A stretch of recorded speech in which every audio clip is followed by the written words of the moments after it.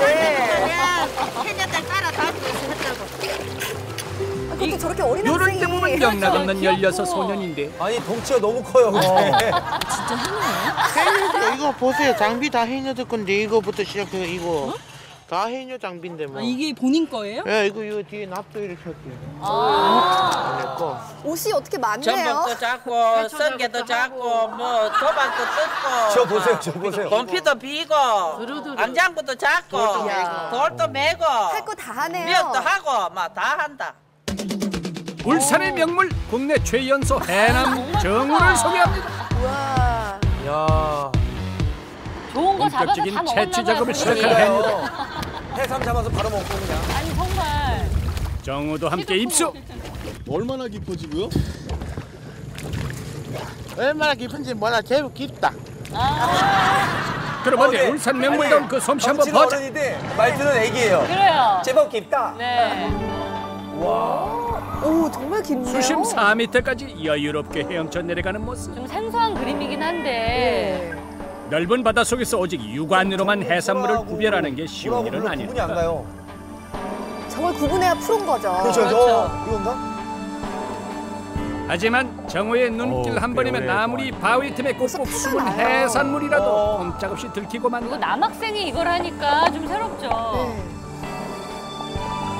어, 전복이요, 전복. 어머. 자연산, 자연산. 에? 잡아. 또 잡았다. 어? 뭐 잡았어요? 잡아.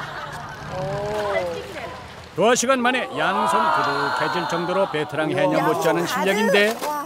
어우 많아요. 물질한 지 겨우 2년 차. 그런데 이젠 전문가가 다 됐다. 진짜 맛있겠네요, 전복. 1kg도 안 되지 싶어. 1kg 안 돼요. 딱 보면 아나요? 아니 2kg, 3kg는 잡아요. 아. 비는 눈앞에 아른거리는데 뭐 전부 꿈틀꿈틀거리는 비는 다 경쟁자다 물에 들어가면. 서로 서로 망사리 하긴 안 나고 바쁘다. 누가 많이 그러니까 잡았나. 할머니들이랑 같이 일하다 보니까 말이 좀. 짧아졌어요. 내거 한 망사리 보고 나무 해녀 말이 보고. 짧아요, 할머니들 말투. 그래. 어머님들 말투. 네. 생이잖아요. 그래도 저 물몇몇 메다 내려가는 해녀들랑 같이 작업을 하이 네. 대단하지. 어린 학생이에요. 물질 신참 정우의 보통 비결은 바로 뭐 몇십 년씩 하신 분들. 물속에서 바위도 아마 뒤집는 10대는 보통 해녀들보다 강한 힘과 무한 체력. 잘하네요. 근데 이때 바위 아래 숨은 뭔가를 발견한 정우. 이야. 아, 그 녀석 참 좀 가라 가. 문어 아니에요, 문어?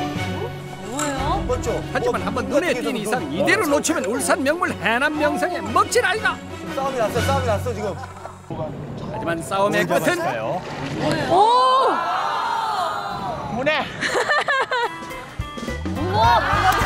정리의 귀여운 승리의 세레머니. 문어 문어. 네 진짜 명물 맞네. 잘 잡네요. 이후에도 정우의 물질은 끝이 아니었다. 얼마나 시간이 흘렀을까? 선배 해녀들보다 가장 나중에 물에서 나오는 정우. 됐다. 해녀 할머니들과 한참 수다꽃을 피우고 나서야 집으로 갈 준비를 하는데 이거를 찔러내. 다들 오늘 고생했습니다. 돌맨다고. 다 고생했습니다. 오늘 다 고생. 할매 뭐 고생했는 게 아니고 다 고생했어. 봄에 불망 정우를 기다린 사람이 있었으니. 바로 정우의 할머니다. 아, 할머니신가 봐요. 집으로 돌아가는 길은 늘 이렇게 함께라는 할머니와 정우.